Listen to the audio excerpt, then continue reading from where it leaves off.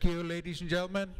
At this time, we're going to call on uh, one of our former chiefs of Alexis Nakota Sioux Nation and also ceremonialist and elder Howard Mustus to come and say invocation.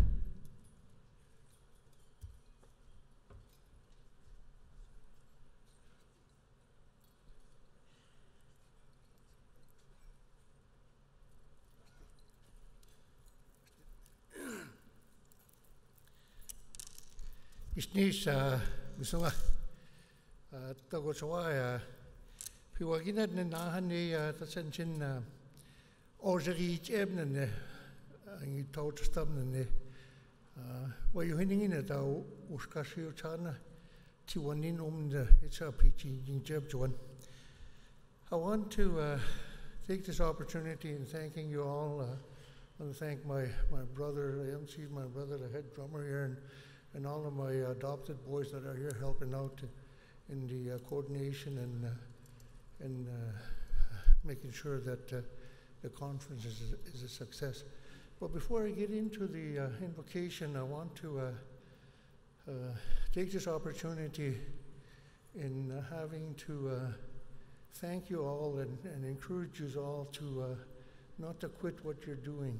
You know, we a big portion of the people that are homeless, that are in destitute situations, are our relatives, our, our uncles, our aunts, our, in some instances, even our grandparents are, are uh, in that situation. And I think, uh, you know, uh, by choice, maybe some of them uh, uh, want to remain in that uh, where they don't want they don't want to come out and and and feel and challenge some of the realities in life. I think uh, over the years, because of the abuse uh, deriving from the residential school and policies and uh, racism in uh, here in, in Canada, in Alberta, has driven some of our people to become uh, hopeless and live in that environment. And so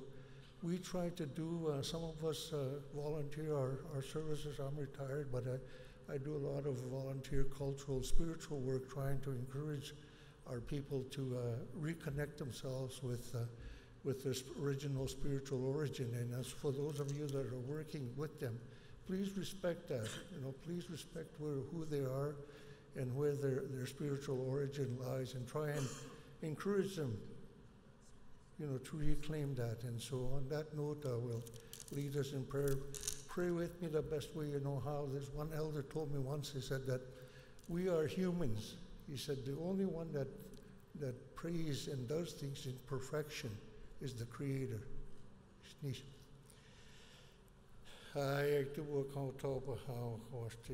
Kan tui chinin. Ha mak pe chinin na ni ha nis na tu na ta chano sa sa ke tom Haansijaikinne. Aestodana estasne. Hangitotstavun sin hunavachine hamsun hukunaptai popsin sin haikwecha hatsavastige. Anahata sentohang epsakami turmagi bomatade hitsavastige. Anangahapane ha hakidane nigibamnane. Anaurzigin chemne. Anatavuchiyamne ne havodichyamne chane. 아티원이노미네 와요히닌다 와샤카오차운다 우슈차는데 아시 조칭에 부득이칭에 끝친하인기 비중법는데 아 따고 따고 치암나 오다 하시 지게 시친 우스카셰 테헨제 님나원네 하오차네인데 아 따고 따고 칭에 부득이칭인데 아이 업워스테 하 통치 워스테 한신 또나 토르버게 wan ne ha ho cha ne ne a ta ko do ku ching ye bu gi ching min ne hai ab was te ha thong chi was te han chen to na to da ba ge ayok tami chin chin ayok hao chin zu zop tu ki chin yim kon chin ni jim no ne angi bi sung shi ka bu nga na bu an ne au shi na bu na nga ki da bin ne ta chan chin wa sim ne ne a ai chi ge chin ni ji ju bu ne a ke sa ba ta os nga ku ne ne is ni pi nam no ne na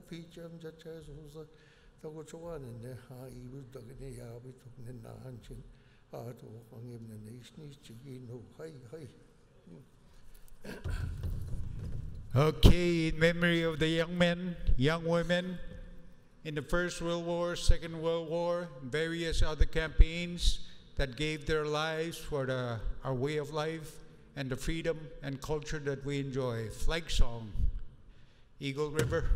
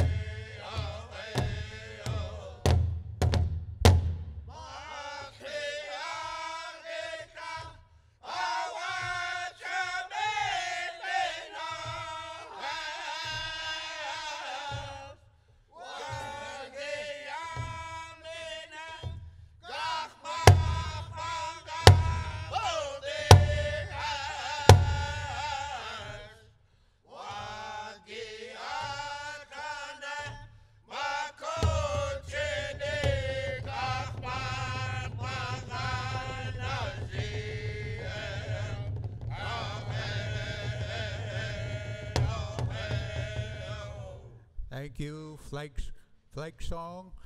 Now the retreat, victory song.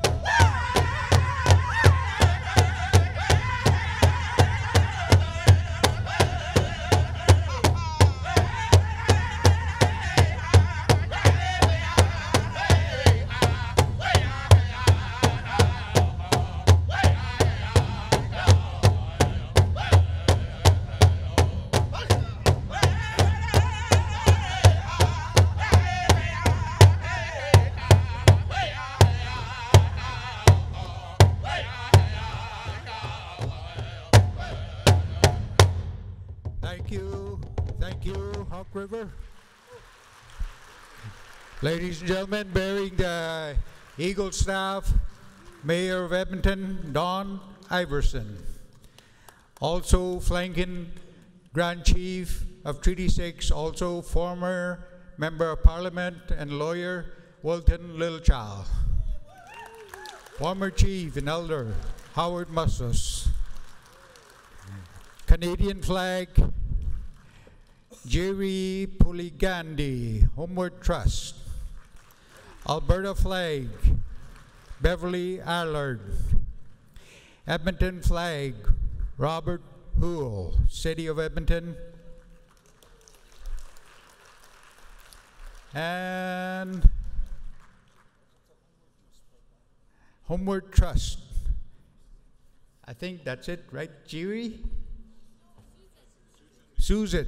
Okay, Susan.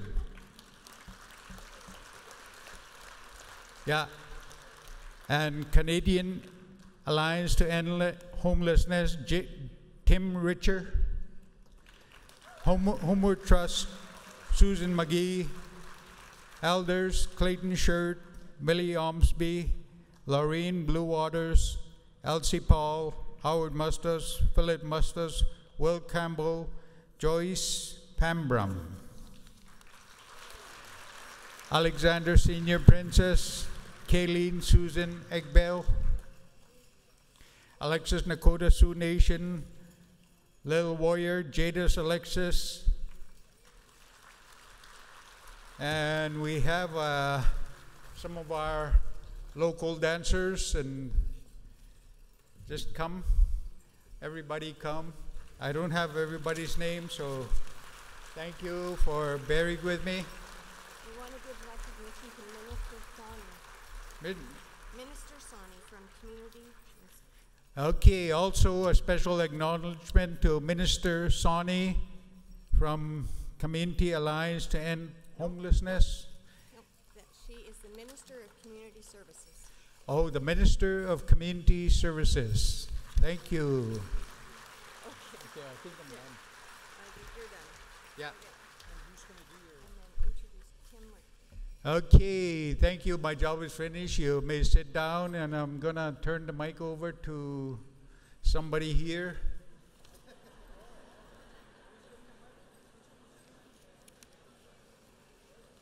Somebody will be speaking. You have guest speakers and VIPs and all kinds of guests.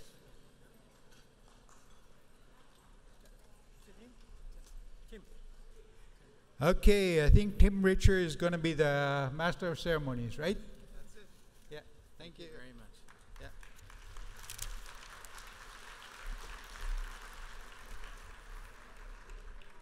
Thank you. Uh, thank you for that, for the welcome. Uh, thank you for the ceremony. Uh,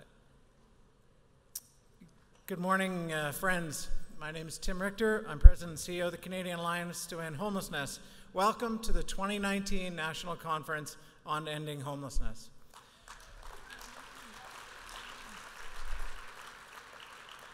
I got to say that I'm, I'm really uh, uh, happy that the light here is really bright because I can't see you all, Otherwise, I'd be scared to death uh, of this room. Look around 1,500 people. How, how awesome is it to be in a room of 1,500 people from all over the country, gathered and united with one focus, one mission, and that's to end homelessness in Canada? if there, if there was ever a doubt that we could end homelessness in Canada, those doubts vanish with one look uh, at this room. We've got an incredible program for the next two and a half days with 300 speakers, 86 sessions, and some really world class keynote speakers, and you're going to hear from some of them uh, now. I'm pleased to begin our program this morning by welcoming Minister Rajan Sawhney, Alberta's Minister of Community and Social Services, to make some welcoming remarks. Minister.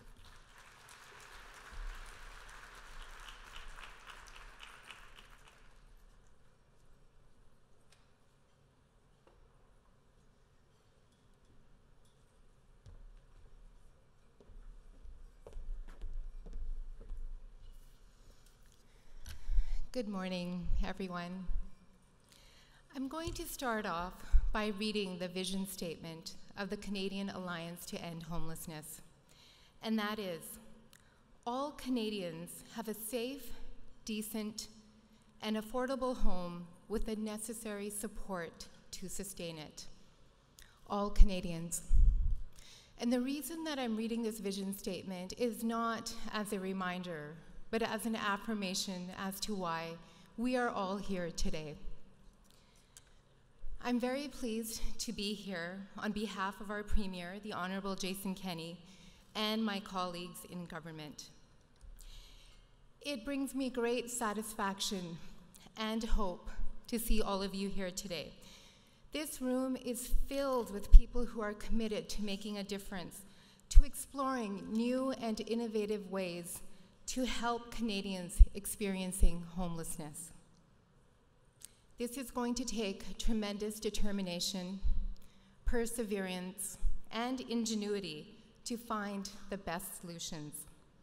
As leaders, policymakers, academics, advocates, and frontline workers, you have the experience and the expertise to help our most vulnerable citizens. And I strongly believe that the intellectual prowess that we have in this room is what will ultimately drive innovative solutions necessary to make a difference in these individuals' lives.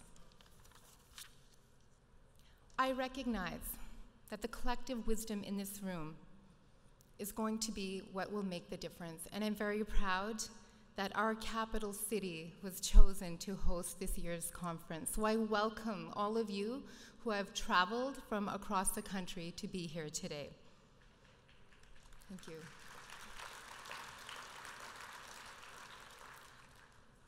Every year, thousands of people in this capital city find themselves without a home.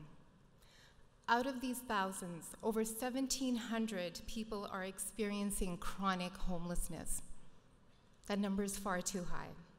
And I know that there are several agencies and groups in the city and in this province who have taken on this issue and have cared deeply about these individuals. Our government has said, and I have personally said it many times, that we believe in partnering with these individuals and organizations who are best positioned to help people in their communities. And we are committed to working with them and with all levels of government to address homelessness. It will take a holistic and collective effort from all of us. Since becoming Alberta's Minister of Community and Social Services this spring, I've met with many people who work hard every single day to end homelessness, some of whom are in the audience today who I've already spoken to this morning, and there are many here that I'm really looking forward to meeting. I've learned a lot. I have so much to learn. I continue to learn every day about this complex issue. Indeed, this is a challenging field to work in, and I'm working in this field now as well. And I just want to take a moment to commend each and every one of you for your passion and your commitment. Conferences like today's are a necessity. It's how we bring the best and the brightest minds together.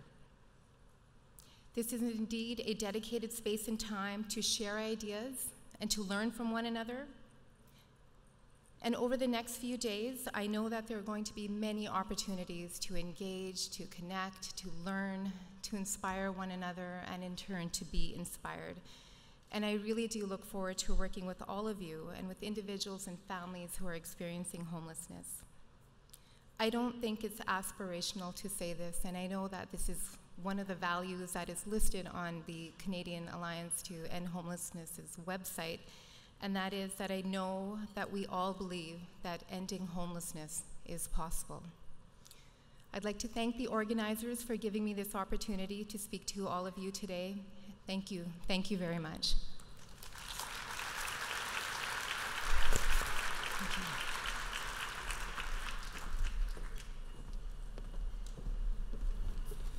Thank you, uh, Minister Sawhney. So much of ending homelessness comes down to leadership, and there's not many mayors in Canada that have been more passionate, more vocal, or more effective than Mayor Don Iveson of Edmonton. Mayor Iveson is a champion of affordable housing and ending homelessness, not only here in Edmonton, but among his peers uh, as chair of the Big City Mayors Caucus the Federation of Canadian Municipalities. It's now my pleasure to welcome Mayor Don Iveson to make welcoming remarks on behalf of the City of Edmonton.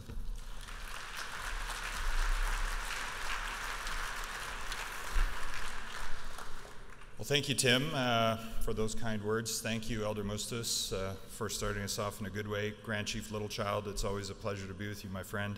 Minister Sawhney, thank you for joining us this morning and for your continued commitment to this work. Uh, I want to recognize Member of Parliament Adam Vaughan, who's here as well uh, from Toronto, and a great champion on this file and for housing and a former city councilor who gets that uh, City Hall in partnership with all of you in community, and I think the minister would acknowledge too, uh, that that's uh, on the ground is where we make change in these uh, shared national goals, provincial goals, and civic goals. And so uh, I'm very privileged to be here. Obviously, I'm, I'm, very grateful for the opportunity to carry in the Eagle staff this morning. I'm, I'm quite moved by this morning's uh, opening, in fact, and grateful to uh, all of you who have made the long journey here to Edmonton, and also to those of you from here who do this work in our community every day. It's extraordinary. Yes, absolutely give yourselves a round of applause. So, uh, take it from Tim, not from me, but Tim has said that Edmonton might be the best big Canadian city uh, at implementing housing first and we are uncharacteristically shy here in Edmonton uh, about our accomplishments. We're not given to bragging, but it is a point of pride that we have made significant progress on cutting homelessness in half over the last decade.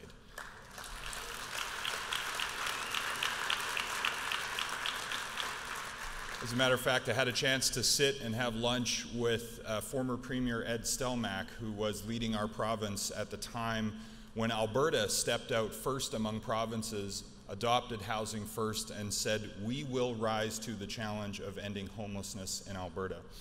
And I sat with him and he asked how it was going. And I said, Well, here's the good news. We've housed, at that time, 9,310 people using Housing First. And we have taken homelessness from 10 years ago being around 3,200 individuals experiencing homelessness to about 1,600, so we've dropped it in half. And he said, That's extraordinary. Why aren't we at the finish line? It's been 10 years. What's holding us up? And I said, The sustained and unambiguous commitment of all orders of government is the only thing standing between us and our goal.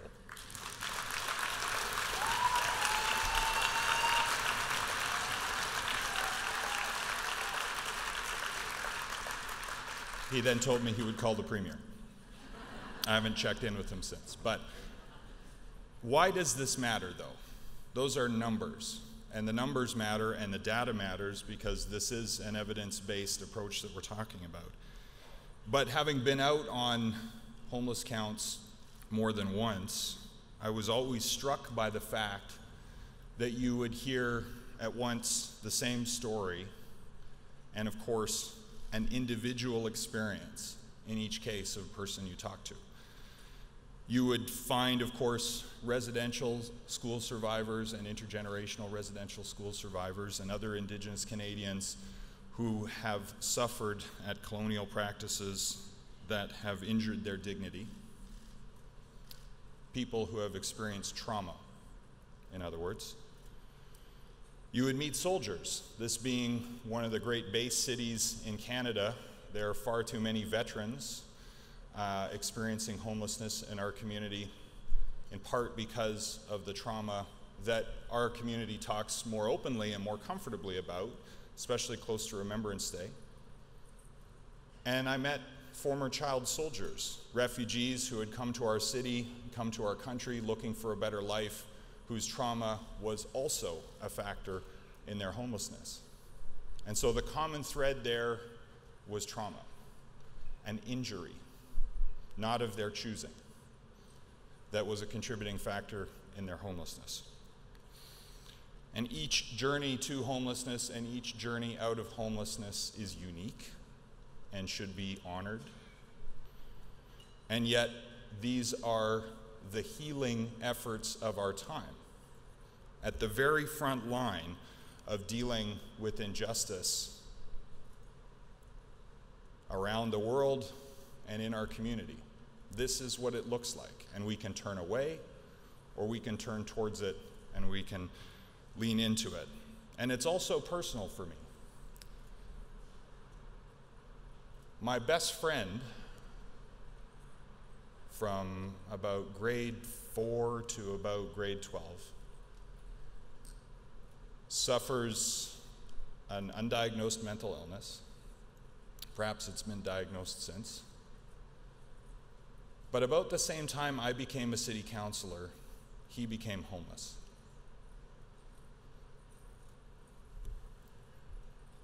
And I stepped over him one day on my way to work in our city.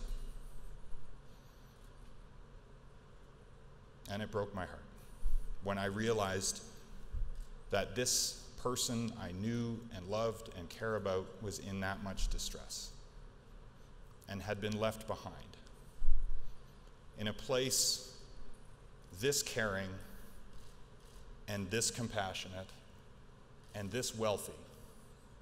He, and at that time, about 3,200 people had been left behind. So I became a Housing First advocate.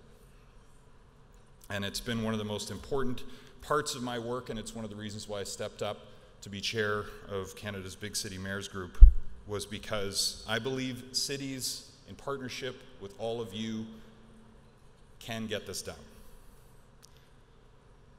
The National Housing Strategy is a huge leap forward, and I salute and commend our federal government for re entering the housing space with gusto.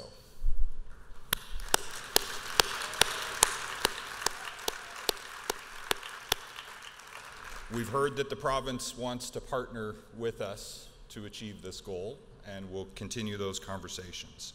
But very clearly, the community is there. The community is behind us.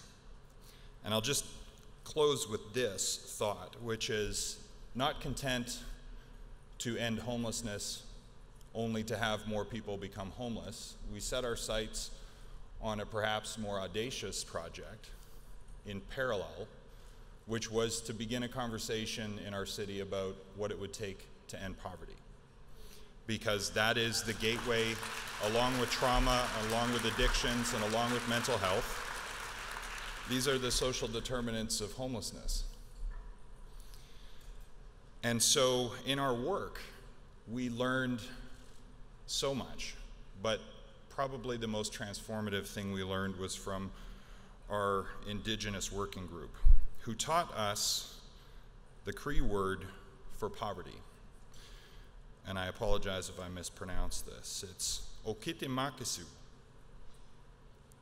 which is, the Grand Chief is nodding, so must be close, which is one who is experiencing deprivation. But it's not about money. It's spiritual impoverishment, it's community impoverishment, it is the impoverishment of health. And that transformed our thinking because money is part of the picture. But really, that kind of poverty is not up to one individual to solve. That kind of poverty is for a community to wrap their arms around that individual and lift them up with whatever resources are necessary. So, homelessness and even poverty are a choice. And I suppose technically someone can choose their own homelessness and can choose a kind of vow of poverty. I imagine that's not spiritually bereft, just materially.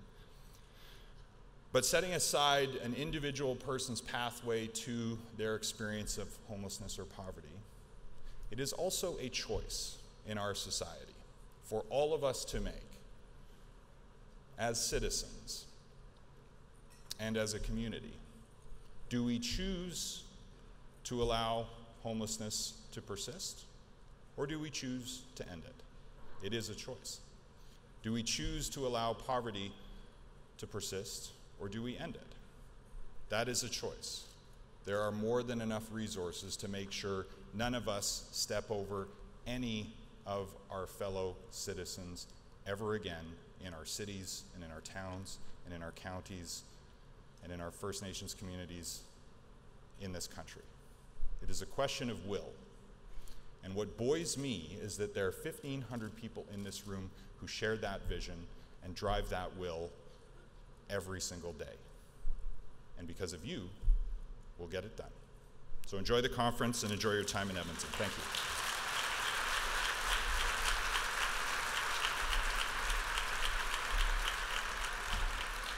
So, in the last five years, as Mayor Iveson mentioned, we've made more progress on federal leadership on housing and homelessness than in all of the last 30 years combined. A, a, return of federal leadership on housing with a $55 billion national housing strategy, a 10 year, $2.2 billion federal homelessness strategy, and a legislated right to housing. These are all products of the hard work of our next speaker, Mr. Adam Vaughan, the Member of Parliament for Spadina Fort York, and currently the only Liberal MP in Alberta. Uh, he, Adam is, uh, that's going to get me in all kinds of trouble. Um, Adam is arguably one of the most effective advocates for housing and homelessness we've had in Parliament for a very long time. Please welcome Adam Vaughan.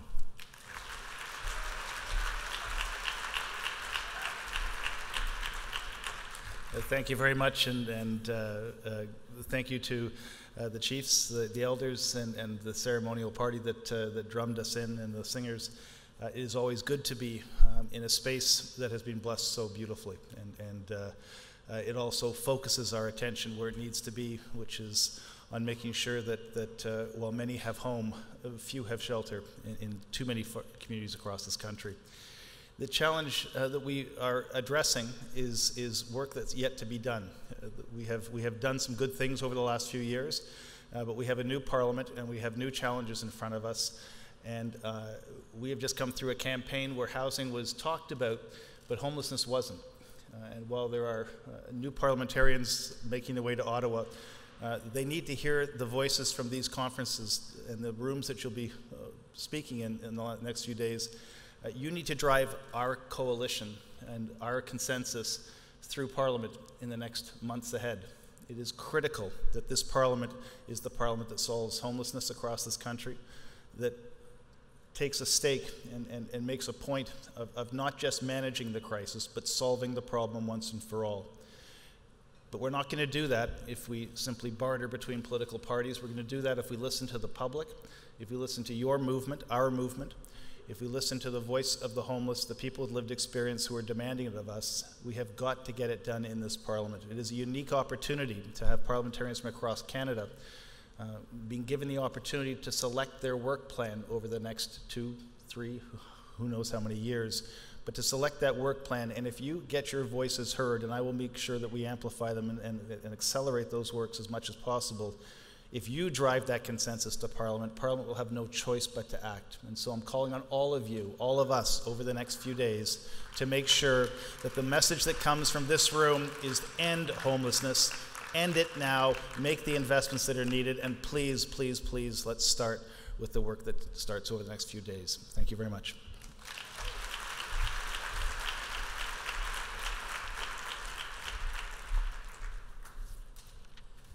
Thank you, Adam. So, um, over the course of my life, I have been really lucky to meet lots of uh, powerful people, including lots of politicians, ministers, and premiers and prime ministers. I've met powerful leaders in business uh, and society, but I don't think I've ever met a person that I felt I was in the presence of greatness until I met our keynote, Dr. Uh, Grand Chief Willie Littlechild. Grand Chief Littlechild uh, is a gifted athlete, a politician, and a lawyer. He's been inducted into seven sports halls of fame. Uh, he was the first Indigenous person appointed to the Queen's Counsel by Alberta Law Society, and he was the first Treaty Indian Member of Parliament. Grand Chief Littlechild was a commissioner on the Truth and Reconciliation Commission of Canada whose final report was released on December 15th, 2015. You'll find the principles of reconciliation from that report in the back of your program. He's also got a list of honors and awards that is as long as my arm. Grand Chief Littlechild is one of the most humble, kind, and thoughtful people you will run into, but you'll also know the moment you meet him that he's a man of depth, with steel in his spine, a brilliant intellect, great humor, and a tireless champion for and among our Indigenous relatives. Friends, it's my pleasure to introduce Grand Chief Wilton Littlechild.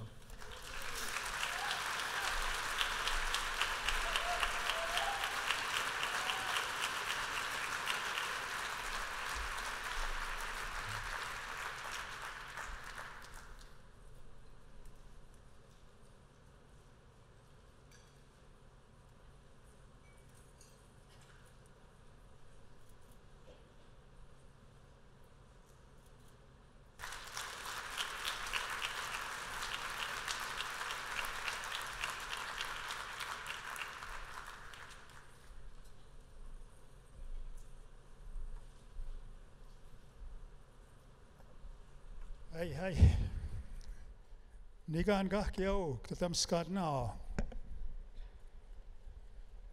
Mio sena semina pego ei ma mopia ngeton. Mstaiki gojohtse. Tan saan ma ketsena tagi totamak. Tan saan ma ketsena tagi toyak. Kauta pe kiuetsik totemnog. ega kõik tema eest, see papame otenak. kõik see poma, või hatsi mustata kui kaps siis. ta on ega on maad tihti.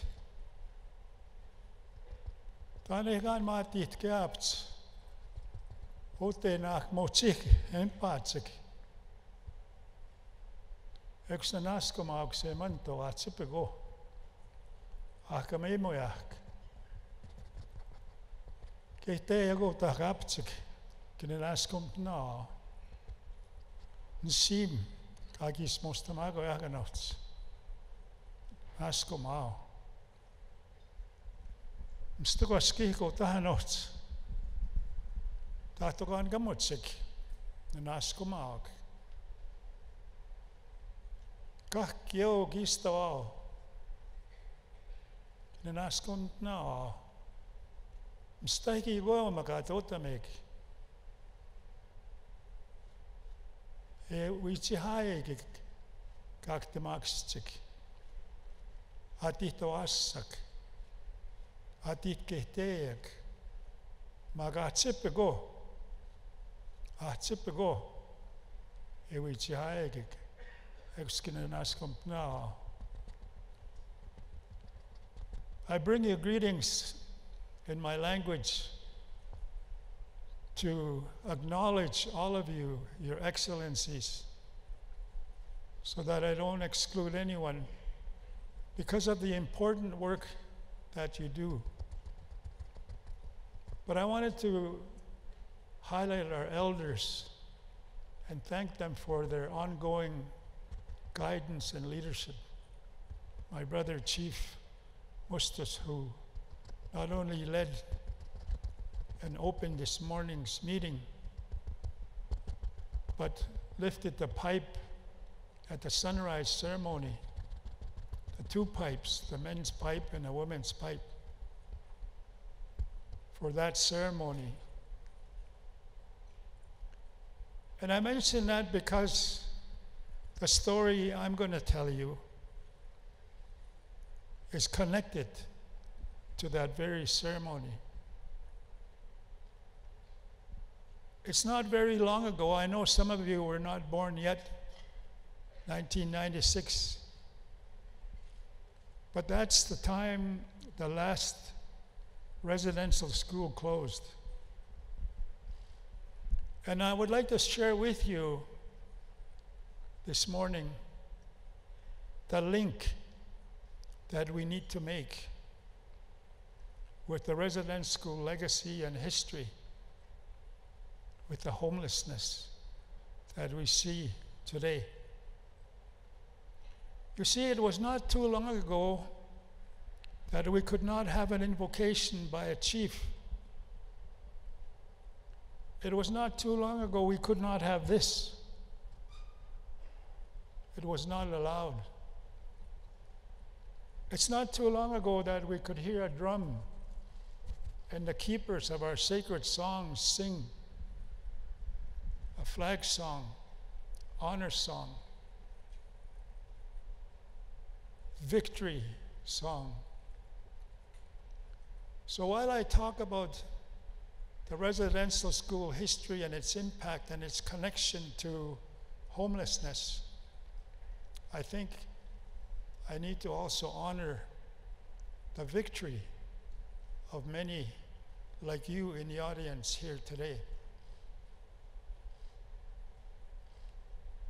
I have some pictures I want to show you, and as soon as they're able to put them on a screen, I will use that presentation.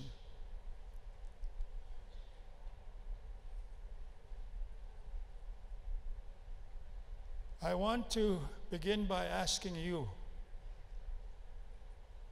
just to close your eyes for a moment. Close your eyes for a moment. And go back, if you can, to the day that you were seven years old.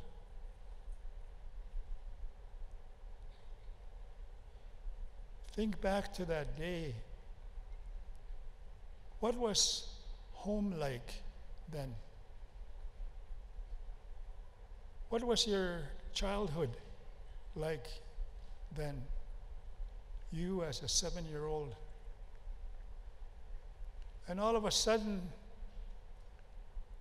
there's a knock on the door, and you're taken. You're taken from your parents and you're put into a residential school or a boarding school, as some are called. How would you feel? How did you feel, some of you, the survivors in the room, at that moment when you were taken from your parents?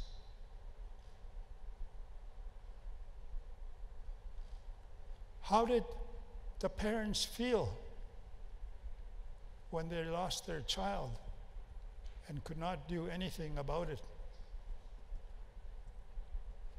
Because, as you see, this was a legislated form of assimilation, the residential school system.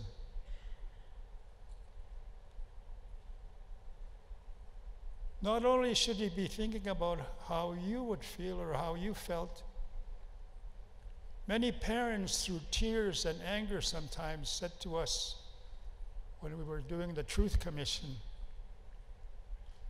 I couldn't stand the pain of losing my child. And that's why I went to alcohol. That's why I went to drugs. That's why I went to the cities. In other words, that's why I'm homeless. So, this story, and the mayor mentioned it, his worship, Mayor Iveson, and I thank him for all his leadership. Because he mentioned someone that we should be thinking about and I want to think about myself as we enter this coming week where we remember veterans. I traveled many places, and one of the saddest connection I have to the homeless is when I see veterans homeless. So I want to dedicate my words to my late dad, who was a World War II veteran, and my uncle, two uncles, but one in particular, an uncle, Second World War, who was shot three times once on the arm and twice on the legs, on one leg. And when he got hit, the story goes from his comrades, as they called them, because he wouldn't tell us. When he hit the ground the first time, Sergeant said, Come on, Chief, get up. We've got to keep going. So he got up and he started running, running, only to be shot twice again. Sergeant said to him, Come on, Chief, get up, get up. Well, he couldn't get up. So they thought he had been killed. He doesn't know how long he was out in the field until he woke up as a prisoner of war in the hospital. The reason I tell you that story because he died homeless. And yet, when I show you this picture that was just shown, if you can go back to, I don't know where the technicians are.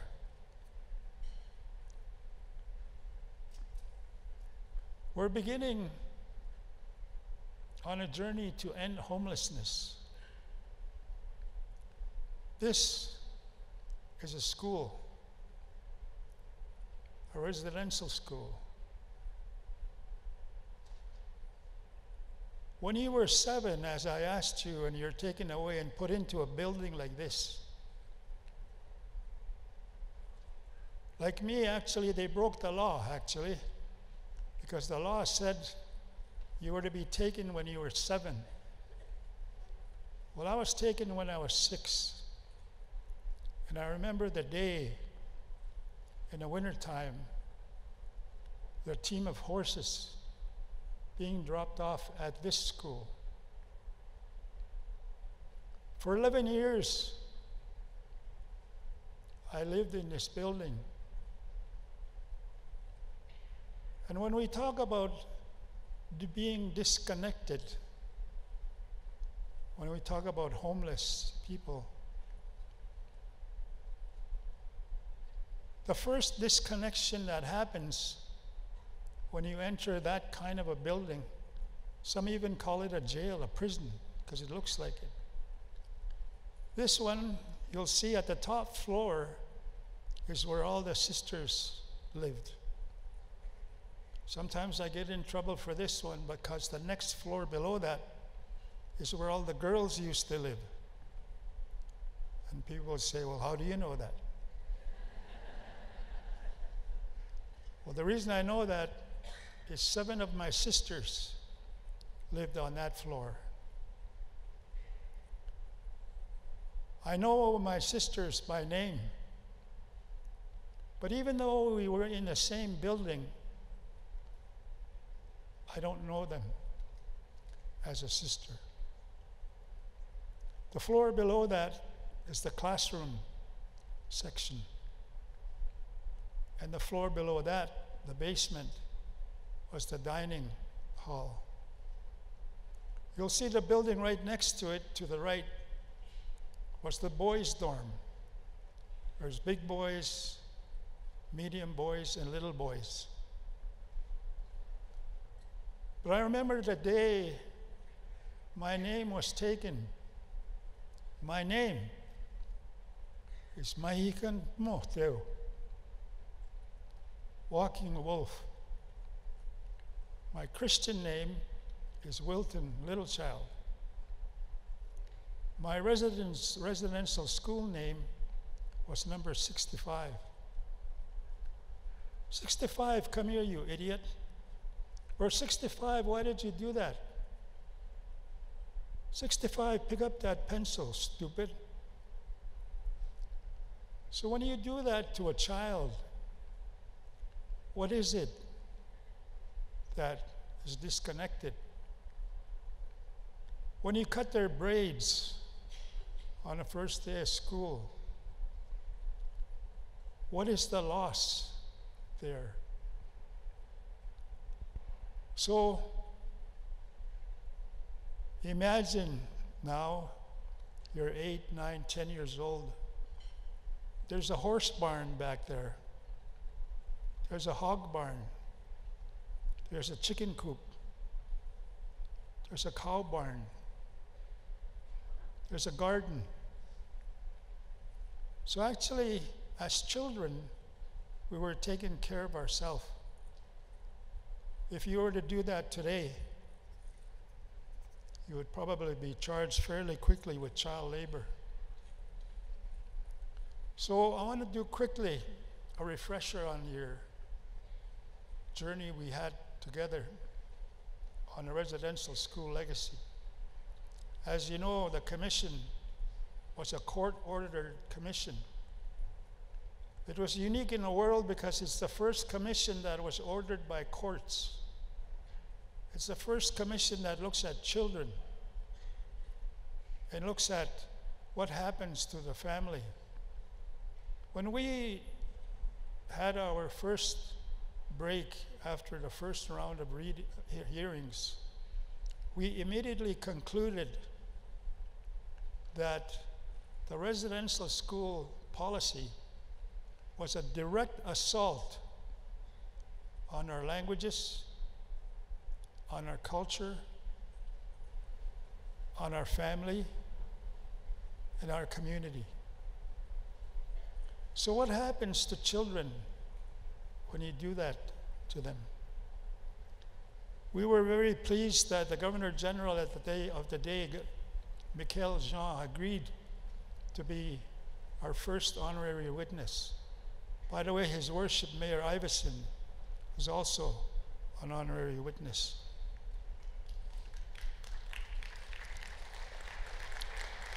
We asked survivors, how should we go about this work?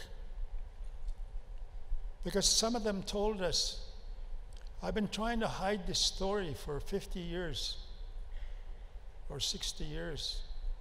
My children don't know what happened to me. My family doesn't know what happened to me. So the elders, in their wisdom, said, Don't listen to anyone unless it's a safe setting. Make sure that there's cultural support, spiritual support, medical and mental support around that individual before you ask them what happened to you as a child in residential school. So we had survivors from across the country. So, very quickly, we were ordered by the courts to stay, get, gather the truth. What happened in these residential schools? They also ordered us to, to have seven national events. We had a national event in this very building, actually. And again, with the wisdom of our elders, they told us, why did you take one of the sacred teachings as a theme for each of those gatherings. So the first gathering we had, the theme was about respect, a very fundamental indigenous teaching. And it's not only indigenous, it's a universal teaching respect. Then we went north. Some of you from the north, we applaud your courage because to live and survive in the north where some of the most isolated residential schools were, takes a lot of courage. The next one I thought was going to be very difficult because we heard many times the impact of being torn away from your parents, growing up without any emotion of love. I thought, this is not going to work. But happily, to say to you I was so wrong because one young person got up and said, You know, I used to hate myself. I used to hate that I'm brown. But now I'm on a healing journey, and every morning now when I get up, I can say to myself, I love you. I love you. We heard former students say, you know, I couldn't do that. I couldn't even tell my spouse, my partner, husband, or wife, I love you. I couldn't tell my children or my grandchildren because I don't know what love is. So sometimes we end up disconnected from each other within the family. So then we asked honorary witnesses, prominent Canadians like His Worship, Mayor Iveson, and others, if they would be willing to be an honorary witness, because in our tradition, when you're an honorary witness, you have a responsibility. You have a responsibility to share how you're feeling about what you just heard about this story of residential schools. So we made a report early on and we published a document called They Came for the Children. And the stories that you hear about how they came and rounded us up. September came to be known as the crying month because that's what parents and grandparents remember. When their children were taken, the last thing they remember is the voice of their child crying as they were taken. So we did a report after 7,000 stories. The court didn't tell us that we should look at the missing children, but we did it anyway because we started hearing about the children that died in residential schools, the children that never came home. And gladly, about three weeks ago, we had a celebration in Ottawa to honor those now close to 6,000 names of children who died at these schools, who went missing. I remember an old man from St. Albert here say, there was two schools in Edmonton, one by St. Albert, and he said, I used to see children burying children. Children burying children. Because he said, I, I lived so close to the school. Children who were put on a plane in the far north thinking they've never been on a plane before that this was going to be exciting. So they were flown from their community to Ottawa, where they were put on a train for three days and three nights to Edmonton. When they got here, they were put on another plane and flown to Aklavik and Northwest Territories and Yukon, 2,500 miles away from home. My school was only three miles away. But how can you think about running away from that school, trying to go home when it's 2,500 miles away? So, of course, some died along the way. There's a picture in my mind, it's etched in my mind to this very day, of four little boys hugging each other frozen to death because they had ran away from school hoping to go home. Home. So you see, we then focused on education, culture, and language, and what happened to them at the residential school. spirituality and how it was assaulted. Sometimes talk about I need to respect your time, so I want to hurry up here. I had a problem like that once, and I said, You know, my people, we only have, well, actually, we have a lot of problems, but there's two particular health problems we have, and it's diabetes. I said, What? Diabetes. I think I just created a new word. I said, Diabetes and obesity. So we have principles of reconciliation because after six and a half years and listening to these stories, we asked ourselves, what were the 10 main teachings? What are the principles that we gather out of this for reconciliation? I know in your agenda, for example, you're going to be talking about the Convention on the Rights of the Child, a rights based approach. The UN Declaration specifically references in Article 23 housing. So it's also a rights based approach. The second principle is that First Nations, Inuit, and Metis have treaty, constitutional, and treaty rights that must be recognized and respected. Do you know that there is actually a treaty right to shelter? Old people tell us there were four trees at treaty time they protected because those trees were important for us. Either have teepee poles or tent poles or to build our own homes with them. So there's a treaty right to shelter. You're going to be talking from the, with the youth about the Convention on Rights of the Child. A third principle of reconciliation that is a process of healing relationships, and you know this. But also, it's about redressing past harms.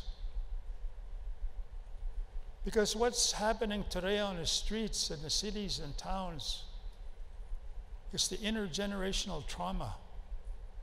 Young people asked us, my parents went to residential school, but we didn't. And yet, we're facing this trauma. It's inherited through family. A young woman asked us in the Yukon, thank her brave bravery. She said, I like this that you're dealing with children, the rights of children, what happens to them. I like it that you're dealing with the parents, she said, but what about me? I came after, and I have the same problems. So the intergenerational trauma and homelessness are directly connected. Reconciliation requires action to address destructive impacts. And one of those impacts that's not listed is housing, as it was mentioned by Mayor Iveson. And the need to, for, for us to focus on urban housing. Because there's a transmigration among our people from the reserve to the city and back to the reserve and they crisscross sometimes. And we get lost in the middle. Reconciliation must create more equitable society, closing the gaps, one of which, of course, is about housing. You're talking here about housing first, so that's an important connection.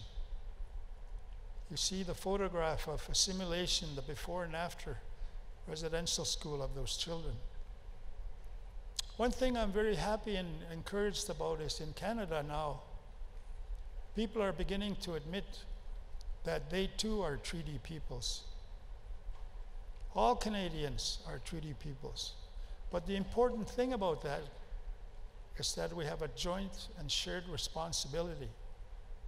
It's not only about benefits, but it's a responsibility for mutually respectful relationships. Perspectives of our elders need to be considered. I know you're going to be talking, for example, on the challenges that face vulnerable adults. You're going to be talking about housing as a social determinant of health to older people. But a very significant, significant impact that I know that you're dealing with on a daily basis, which is only now beginning to capture some support, is mental health. The mental health. I meet with some of the elders and some of the homeless. One time I was at a meeting with the homeless people here in Edmonton, and one of the guys says, You know, I'm not prejudiced. I like black people, I like white people, I like yellow people, the Orientals. I even like red people. But sometimes I wonder about myself, he said, just got off the street. I woke up this morning, I'm black and blue. got a big licking last night, he said. Even though he was homeless, he still found that medicine of healing through humor. I admire him. So, mental health. The importance of our connection to land. You can see that you're beginning to probably catch, I hope, that while the Canadian definition of homelessness has four elements, the indigenous perspective of homelessness has 12 elements. 12 elements. One of those elements is the spiritual connection to the land. Old man told us, you know, when they took us away from our parents' residential school, don't forget, they also took us away from the land. And that's an impact from residential school. So reconciliation will require political will, and thank you, Member of Parliament, for being here, and the minister who had to leave, and also other leaders in the room for being here, because not only will it take political will, but joint leadership. And I'm glad to see this happening. There's beginning to be joint working relationships, and that really is about reconciliation. Where does one start on this journey of reconciliation to make that link of residential school to homelessness? Well, I suggest you read that 94 calls to action. Take one of those calls that speaks to you and make a commitment that you'll work on that one. Otherwise, there are 10 principles, and I would suggest looking at the 10th principle as a starting point. Reconciliation requires sustained public education, dialogue, and youth engagement.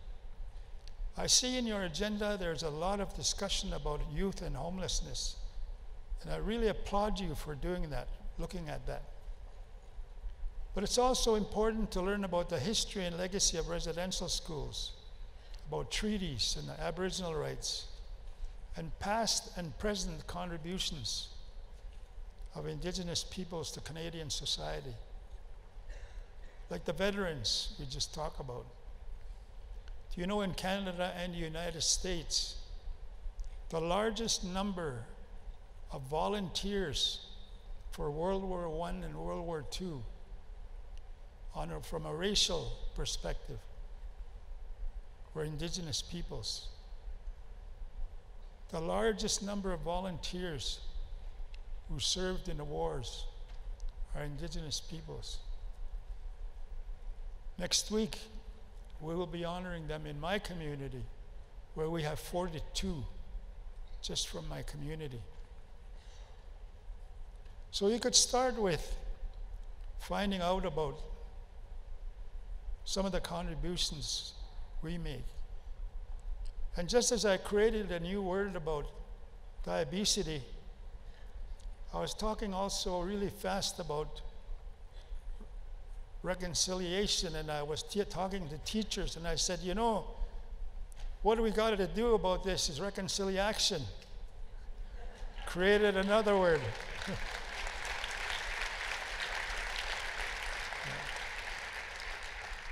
but you know, recently, the 10 principles of reconciliation that we adopted here in Canada through the commitment by the government to support and endorse the UN Declaration on the Rights of Indigenous Peoples as a framework for reconciliation. Those 10 principles have now been adopted at the Human Rights Council in Geneva about two months ago, but they've been in, in, internationalized. Ours were focusing on Canada, but now they've taken them because they want to use them around the world. So thank you, and I applaud your work. We have a definition, I think it might be in your handouts, about the definition of homelessness for indigenous peoples. And as I mentioned, there are 12 elements or 12 aspects of homelessness in the definition. But as we started, beginning to end homelessness, I'm going to create another new word. Take away the word less from that term. So it's going to be about homeness, not about homelessness. New word. I hope I can open this. I don't know if I can. Can a techie help me with this? I want to close with this uh, video. I want to close it for a purpose. Somebody, can you open this? Techie, techie.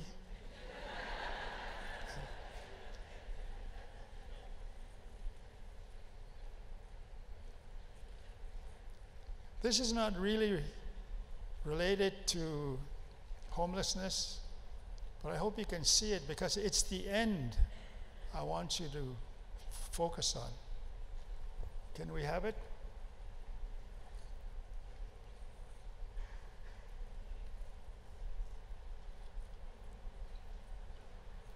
No? We can't. Uh, okay, it's really too bad. Really, really, really, really too bad. Are you sure? Come on. I'm supposed to be able to open this. Okay, well, then I'll close now. See this school? It's the same school that I showed you from um, what sometimes people call the bird's eye view. It was taken from the air. And then it's the bird's eye view, worm's eye view. There's a fence in front of that school. Sometimes people say, So what? There's a barbed wire fence. And they say, Oh, ah, come on, Willie, get over it. But that was a electric fence in front of that school. That's what kept me and my colleagues in that building for 11 years where I was number 65.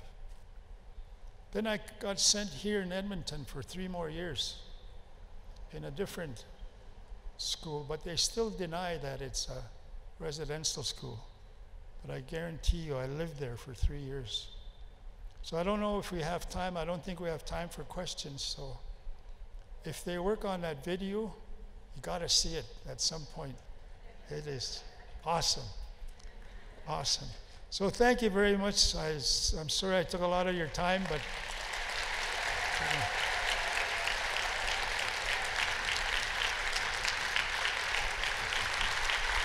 thank you.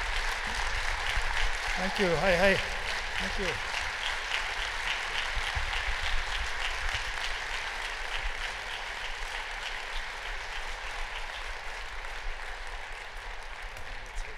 So as I take my crutches, there's a country, or there's only two kinds of songs, they say country and western. there's one song about don't let your boys grow up to be cowboys. They're going to end up like this, or hockey players. So thank you and have a great, great conversation here for the next two days.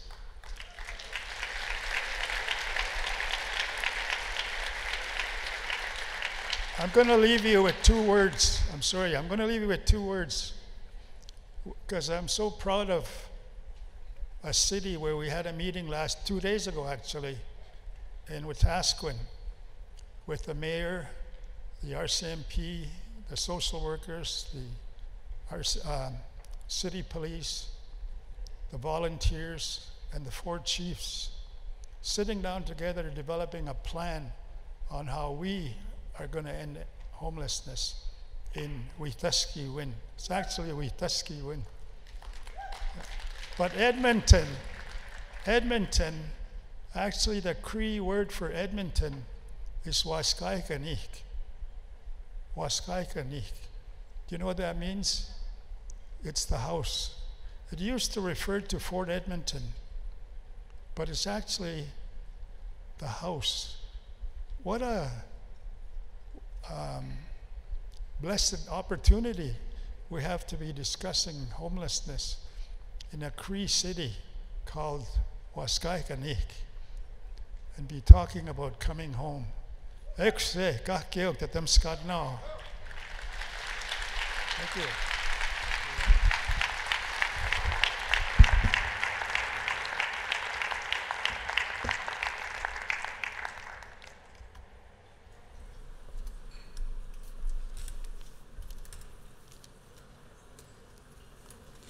Friends, uh, we're grateful and honored uh, to be gathered on Treaty 6 territory, a traditional gathering place for Indigenous peoples, including the Cree, Blackfoot, Metis, Nakota Sioux, Dene, Inuit, and many others whose histories, languages, and cultures continue to influence our vibrant community. I want to thank Treaty 6 for their warm welcome they've offered us, and over the course of this uh, conference, we're going to pay tribute uh, to our Indigenous relatives through ceremony uh, and learning. But you know, having heard Grand Chief Littlechild, um, it's not enough for us to acknowledge the land and first stewards of the land this conference takes place on. We have to take the opportunity to listen to the insights available to us here, and we have to act. Reconciliation. As, as Grand Chief Littlechild said, we're all treaty people, and we have a shared responsibility. We all work in the machinery of colonization in the homeless system. And we have to act where we can to advance decolonization and reconciliation. And, and before anybody thinks or says, well, you know, that's too big or too hard or that's somebody else's job, I'll remind you that we're already in the business of doing the impossible. So we brought this conference here to Edmonton this year to recognize, learn from, and be inspired by the city's remarkable accomplishments on the road to ending homelessness. Under the leadership of Homeward Trust, Edmonton has reduced homelessness more than any other big city in the country. Since 2009, they've reduced overall homelessness by 43%, and since just January, have reduced chronic homelessness an additional 15%. There's still more to do, but Edmonton is proving what everyone here believes to be true that homelessness can and will end. Edmonton has been joined this year by a growing list of communities like Chatham Kent, Medicine Hat, Guelph, and Kawartha Haliburton, who are all driving measurable reductions in chronic homelessness month over month. They will soon be joined by others, and I know when we gather next year, we will celebrate communities having reduced chronic and or veteran homelessness by at least 50%, and we will recognize the first community or communities who have achieved functional zero chronic homelessness. We're meeting now at a time of great hope, great promise, and achievement at a scale that few of us would have dared possible, would have dared to dream possible even five years ago. We have a legislated right to housing, a national housing strategy, a new, new housing being built across the country, and communities rapidly transforming their responses. Friends, we are seeing the beginning of the end of homelessness in Canada.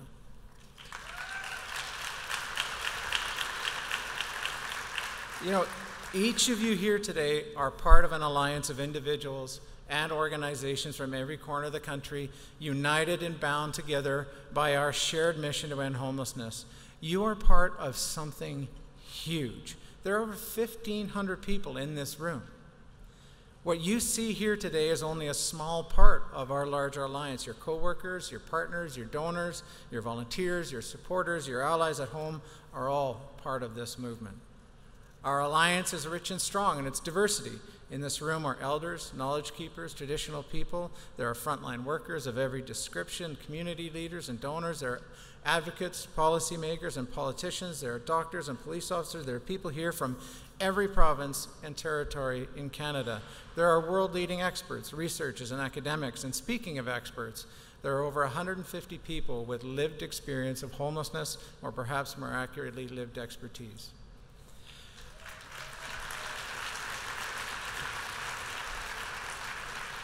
Alliances can change the world because they combine the skill, effort, wisdom, and passion and strength of their members. And those members reinforce and support one another. The work of ending homelessness can be challenging, hard, and often isolating. This conference is an opportunity for you to recharge your batteries, support, be supported by your peers, learn from world leading experts, and be inspired by those we serve. And of course, have some fun. Uh, no trip to Edmonton is complete without some fun. Um, while you're here, though, seek out new ideas, innovations, and skills that will accelerate your efforts back home. I'm going to pause now just for a minute uh, for all of us to remember why we're here and to set our intention for our time together. Every year, we put a candle on stage, or a couple of candles on stage. And that's here to remind us of those who we've lost to homelessness, to remind us of the urgency of our work. We're going to pause now for a moment of silence. I want you to think about someone you know who's been lost to homelessness. Think about the people you know who are still homeless. I want you to visualize ending homelessness and what you're going to do over the next two and a half days to make that vision a reality.